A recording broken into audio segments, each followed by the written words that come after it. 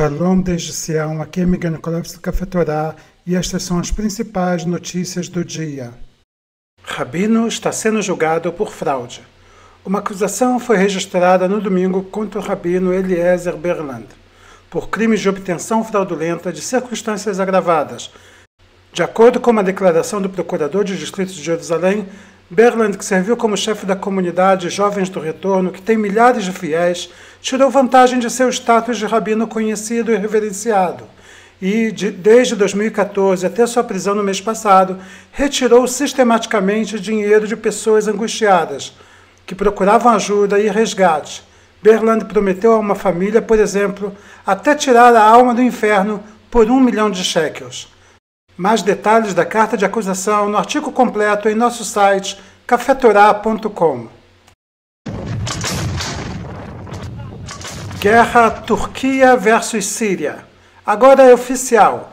O ministro da Defesa turca, Hulusi Akar, anunciou neste domingo o lançamento de uma operação militar generalizada contra o regime de Bashar el-Assad no norte da Síria. Segundo Akar, a operação é em resposta às agressões do exército da Síria contra o exército turco. A Carla só esqueceu de dizer que Idlib não é uma cidade na Turquia, mas sim na Síria. A Turquia está violando a fronteira e o direito internacional. A íntegra pode ser lida em nosso site cafetorá.com. Filho de Netanyahu pagará indenização de 250 mil shekels.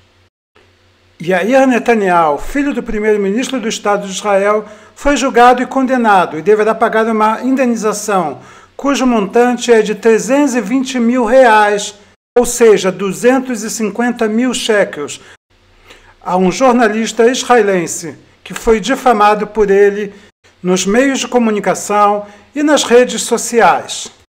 Mais detalhes na íntegra em nosso site cafetorá.com. Eleições em Israel. Soldados começaram a votar.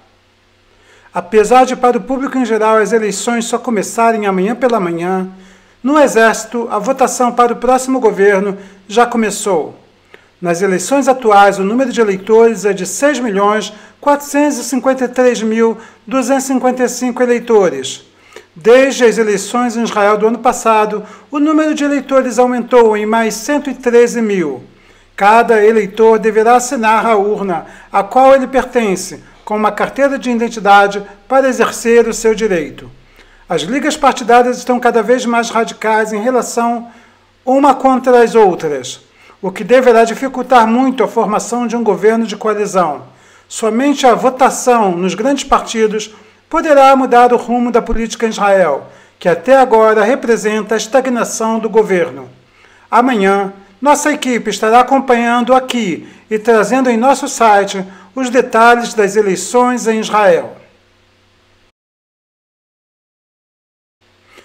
É de menos 209 metros e 68 milímetros. Para o Mar da Galiléia estar completamente cheio, estão faltando apenas 88 centímetros.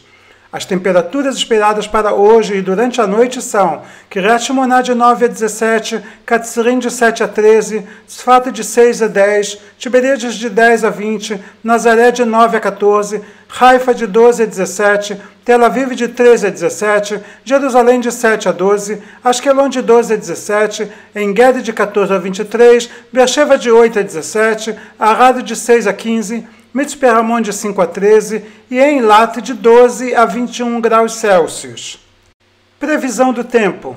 O Centro de Previsão Meteorológica Meteotec informou que hoje o clima será parcialmente nublado muito nublado e mais frio do que o habitual. Desde as primeiras horas do dia começou a chover no norte e centro do país. Ao meio-dia, as chuvas locais chegarão ao sul, no norte do deserto do Negev Ainda, segundo a previsão, a neve descerá mais uma vez sobre o Monte Hermon e estará bem frio. O nível do Mar da Galileia, desde a última sexta-feira, subiu mais 10 centímetros. A autoridade de águas do Estado de Israel disse que o nível do Mar da Galileia agora.